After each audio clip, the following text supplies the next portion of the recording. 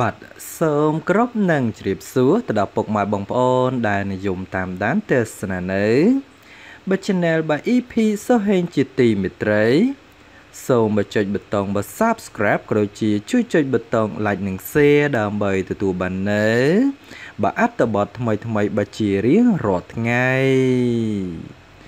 បាទសម្រាប់បទថ្ងៃនេះផងដែរខ្ញុំបាទក៏សូមធ្វើការបញ្ជ្រាបជូននៅបហោរាសាស្ត្រប្រចាំថ្ងៃដែលត្រូវជាមួយនឹងបិទថ្ងៃសៅរ៍បិទទី6ខែវិច្ឆិកាឆ្នាំ2021នេះសម្រាប់ពុកម៉ែបងប្អូន ដែលចង់ដឹងអំពីបជុកជាតារិស័យរបស់ខ្លួនប្រចាំថ្ងៃ ឬក៏ចង់ដឹងអំពីបក្បួនគុនគូទុះទាយថ្មីថ្មីនោះ ក៏ភ្លេចណាមកតាមដានទស្សនាជាមួយនឹងខ្លឹមសារនៃជើងលេខរបស់លោកគ្រូហៅដូចតទៅបាទសម្រាប់បក្បួនយាមក្រឡា បាទក្បួននេះគឺជាក្បួនក្នុងការមើលពេលវេលាដែលត្រូវធ្វើដំណើរសម្រាប់ថ្ងៃសៅរ៍ទី6ខែវិច្ឆិកាឆ្នាំ2021នេះ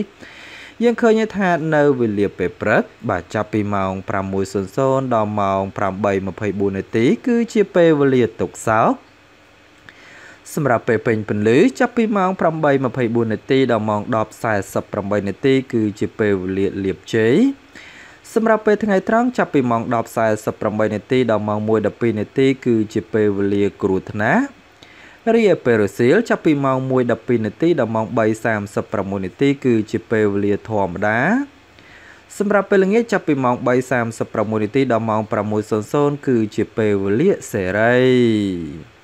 អញ្ចឹងហើយសម្រាប់ពុកម៉ែបងប្អូនដែលចង់បាននៅលៀបជ័យបាទកុំភ្លេចណាធ្វើការបាទចេញដំណើរដោយជ្រើសរើសយកពេលវេលាល្អល្អគឺនៅពេលបពេញពន្លឺនៅបពេលល្ងាចក៏ដូចជានៅពេលរសៀលដោយឡែកសម្រាប់ពេលវេលាមិនល្អនាថ្ងៃសុក្រនេះ បាទគឺនៅបពេលព្រឹកក៏ដូចជានៅពេលបើថ្ងៃត្រង់ផងដែរ អញ្ចឹងសូមពុកម៉ែបងប្អូនទាំងអស់គ្នាមុននឹងចេញដំណើរទៅណាមកណា បាទសូមពិនិត្យមើលក្បួនយាមក្រឡាដើម្បីទទួលបាននៅលៀបជ័យសេរីសុស្ដីចេញដំណើរទៅ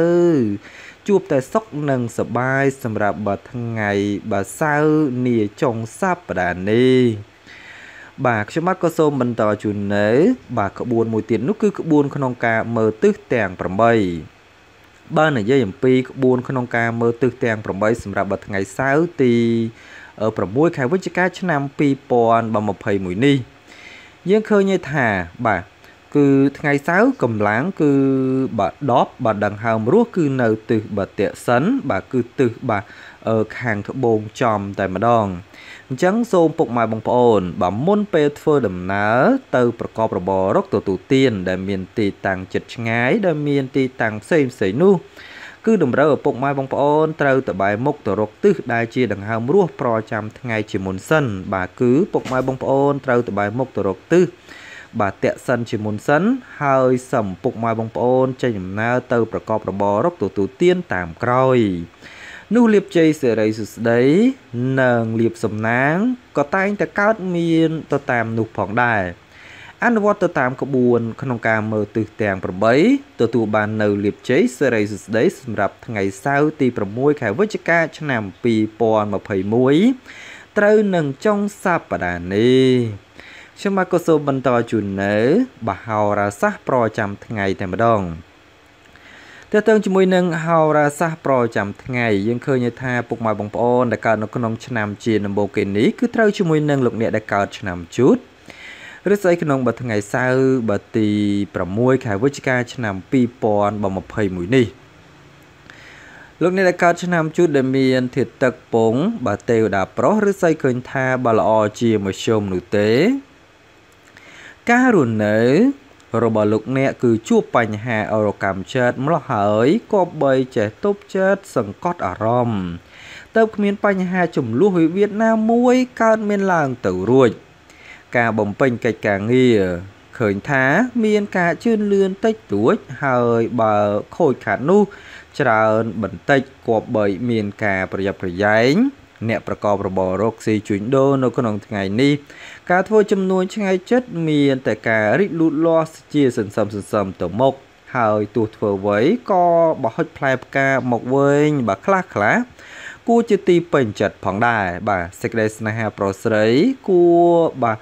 កុំគប់បីមានការបប្រកែប្រកាន់ច្រើននាំតែកើតជាចំនួនវាតឥតឈប់ឈរតែប៉ុណ្ណោះ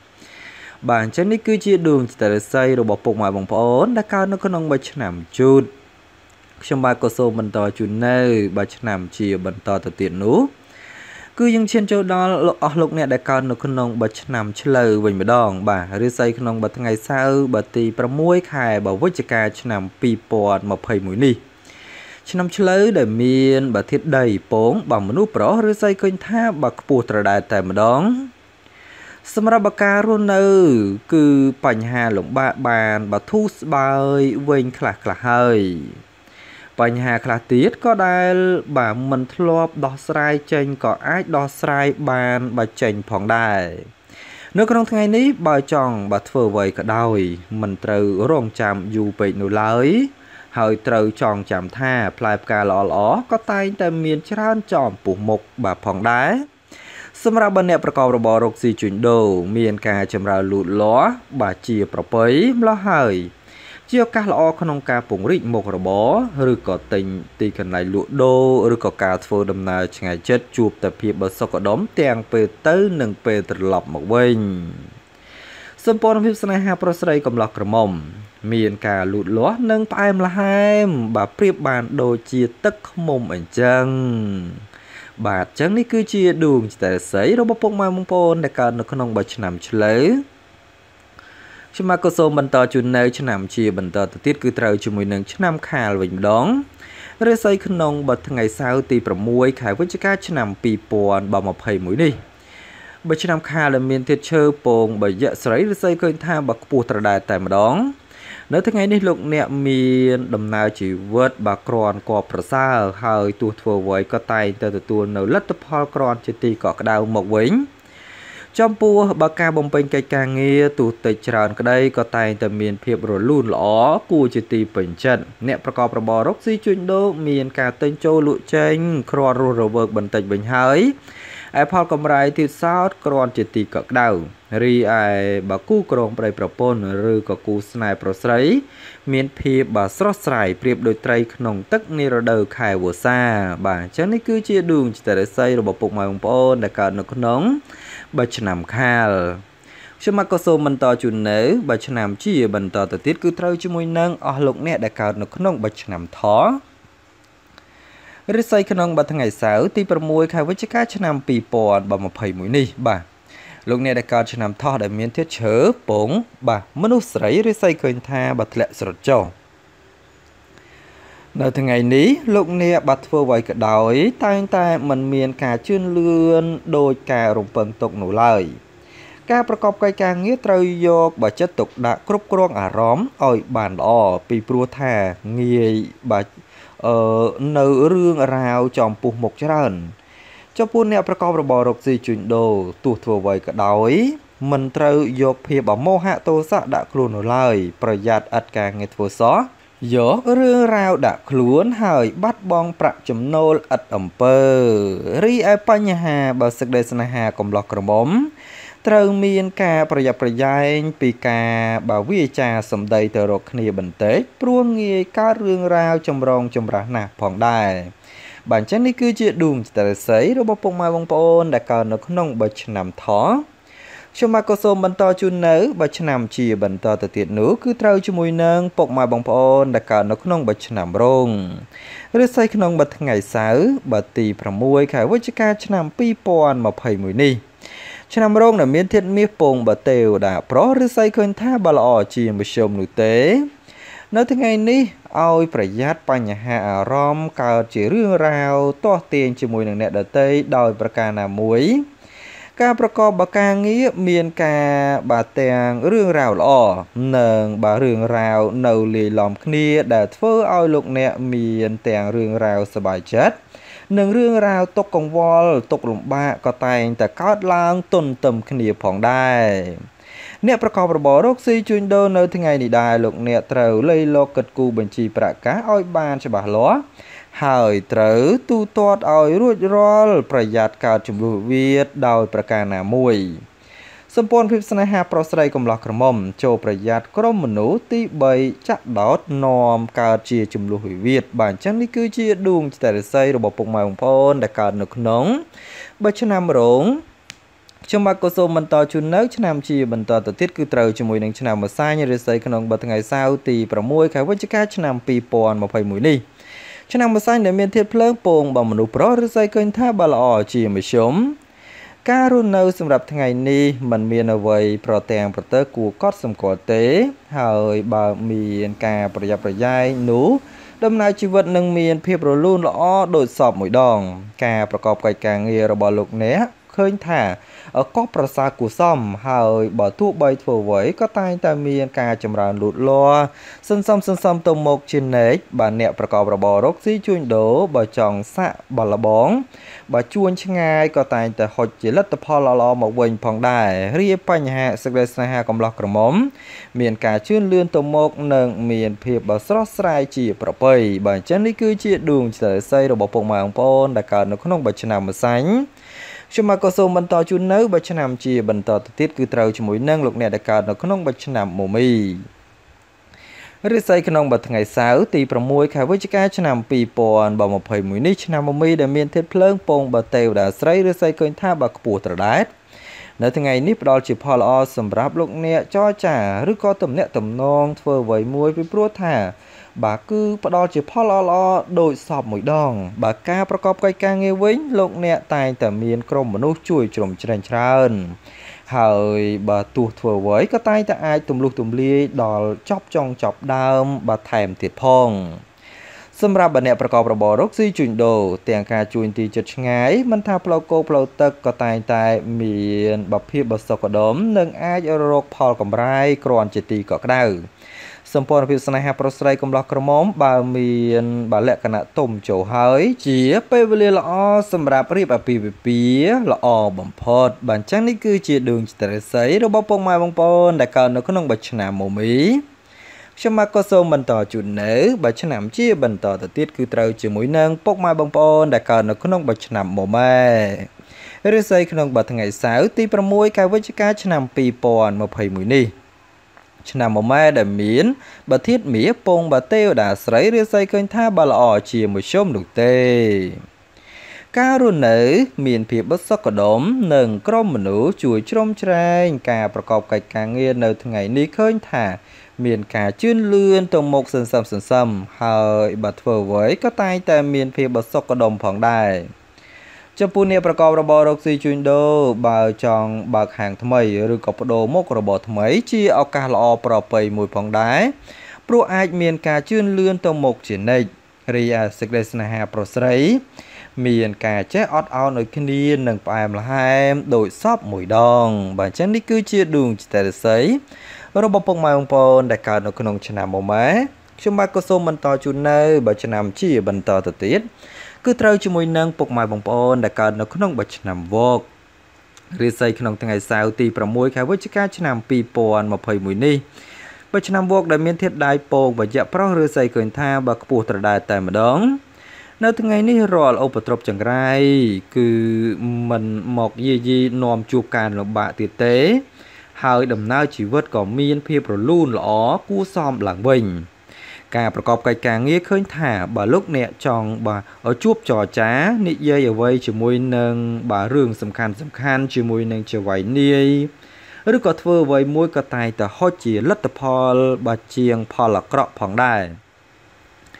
អ្នកប្រកបរបររកស៊ីជួញដូរមានការចម្រើនលូតលាស់ទៅមុខបើគួសមលោះហើយជាឱកាសល្អក្នុងការបណ្ដាក់ទុន ឬក៏ធ្វើអ្វីមួយព្រោះបាទក៏តែងតែហុចជាផ្លែផ្កាគួរជាទីពេញចិត្តរីឯបញ្ហាបាទគូស្នេហ៍កំឡោះក្រមុំឬក៏ពូម៉ែម៉ែក្តីបើលោកអ្នកចង់ផ្សំគុំគ្រួសារជាពេលវេលាល្អប្រសើរណាស់បញ្ចឹងនេះគឺជាដួងចិត្តរិស័យរបស់ពុកម៉ែបងប្អូនដែលកើតនៅក្នុងឆ្នាំវកខ្ញុំមកក៏សូមបន្តជូននៅឆ្នាំជាបន្តទៅទៀតគឺត្រូវជាមួយនឹងឆ្នាំរកាឬស័យក្នុងថ្ងៃសៅរ៍ទី6ខែវិច្ឆិកាឆ្នាំ2021នេះ ឆ្នាំរកាដែលមានធាតុដៃពងបយៈប្រុសរស័យឃើញថាបើល្អជាមធ្យមការរនៅมันមានអ្វីបើប្រទាំងប្រទើគួរកត់សម្គាល់ទេ ហើយបើមានការប្រយ័ត្នប្រយែងនោះគឺដំណើរជីវិតនឹងមានភាពបរលូនល្អដូចសពមួយដងនៅថ្ងៃនេះការប្រកបកិច្ចការងាររបស់លោកអ្នកក៏ប្រសើរគួរសមហើយបើទោះបីធ្វើអ្វីក៏តែងតែមានការចម្រើនលូតលាស់សន្សឹមសន្សំទៅមុខជានិច្ច អ្នកប្រកបរបររកស៊ីជួញដូរបើចង់សាកល្បងបើជួញឆ្ងាយក៏តែងតែទទួលបាននូវលទ្ធផលល្អៗមកវិញផងដែររាបញ្ហាសេចក្តីស្នេហាប្រុសស្រីកំឡោះក្រមុំមានការជឿនលឿនទៅមុខនិងមានភាពស្រស់ស្រាយល្អជាប្រពៃណាស់បាទអញ្ចឹងនេះគឺជាដួងចរិតស័យរបស់ពុកម៉ែបងប្អូនដែលកើតនៅក្នុងបិឆ្នាំបារ៉ូកា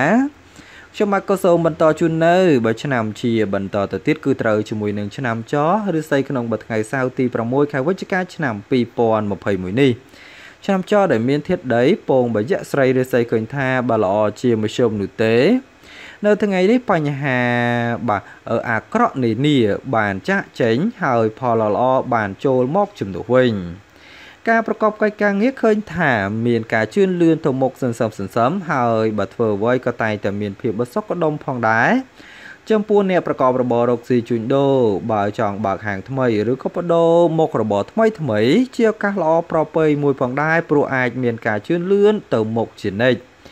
រីឯបើសេចក្តីស្នេហាប្រុសស្រី មានការចេះអត់ឱននៅគ្នានិងផ្អែមល្ហែមដោយសពមួយដង បើអញ្ចឹងនេះគឺជាដួងចិត្តរិស័យរបស់ពុកម៉ែបងប្អូនដែលកើតឆ្នាំចខ្ញុំបាទក៏សូមបន្តជូននៅបើឆ្នាំជាបន្តទៅទៀតគឺត្រូវជាមួយនឹងលោកអ្នកដែលកើតឆ្នាំកុលឬស័យក្នុងថ្ងៃសៅរ៍ទី6ខែវិច្ឆិកាឆ្នាំ2021នេះឆ្នាំកុលដែលមានធាតុទឹកពងបើមនុស្សស្រីឬស័យឃើញថាបើធ្លាក់ស្រុតចោល នៅក្នុងបើថ្ងៃនេះការរស់នៅចូលប្រយ័ត្នកើតចំនួនវិវាទណាមួយព្រោះតែពាក្យសម្ដីទាំងខ្លួនឯងនិងការចរចាទៅកាន់អ្នកដទៃនៅថ្ងៃនេះលោកអ្នកបើធ្វើអ្វីក៏ដោយត្រូវមានហេតុមានផលត្រឹមត្រូវពុំនោះទេរឿងរ៉ាវអាក្រក់ងាយកើតឡើងចំពោះមុខណាស់សម្រាប់អ្នកប្រកបរបររកស៊ីជួញដូរពុំមានការរីលូតលាស់ទៅមុខគួរជាទីកត់សម្គាល់ទេ ហើយក៏ មិនមានការថយក្រោយនោះដែរគឺដូចសពមួយដងសេចក្តីស្នេហាប្រស្រីកំឡោះក្រមុំជួបរឿងខ្វាយខ្វល់ព្រោះតែម្នាក់ម្នាក់ប្រច័នបើប្រកាន់ចិត្តខ្លាំងនឹងម្លោះហើយបើការកើតជារឿងរ៉ាវប្រទាំងប្រទើក៏ងាយផ្ទុះកើតឡើងខ្លាំងផងដែរបើអញ្ចឹងនេះគឺជាដួងចរិតស័យរបស់ពុកម៉ែបងប្អូនដែលកើតនៅក្នុងបិឆ្នាំកុល បាទសម្រាប់បកាជ្រាបជូននៅហោរាសាស្ត្រប្រចាំថ្ងៃត្រូវជាមួយនឹងថ្ងៃសៅរ៍ទី6ខែវិច្ឆិកាឆ្នាំ2021នៅពេលនេះគឺត្រូវបានបញ្ចប់សូមពុកម៉ែបងប្អូនដែលគាំទ្ររូបសម្បត្តិនោះសូមជួយចុចប៊ូតុង Subscribe ក៏ដូចជាជួយចុចប៊ូតុង Like និង Share ដើម្បីទទួលបាននៅបាទអត្ថបទថ្មីថ្មីក៏ដូចជាក្បួនគុនគូទូទីថ្មីថ្មីខ្ញុំបាននឹងធ្វើការស្វែងរកយកនៅអត្ថបទថ្មីថ្មីយកមកចែករំលែកទៅដល់ពុកម៉ែបងប្អូនបានទស្សនាជារៀងរាល់ថ្ងៃ បាទពីខ្ញុំបាទ EP ផ្សេងក៏សូមអរគុណនិងសូមជម្រាបយើងនឹងវិលមកជួបពុកម៉ែបងប្អូននៅ បាទអត្ថបទក្រោយៗទៀតបាទសូមអរគុណ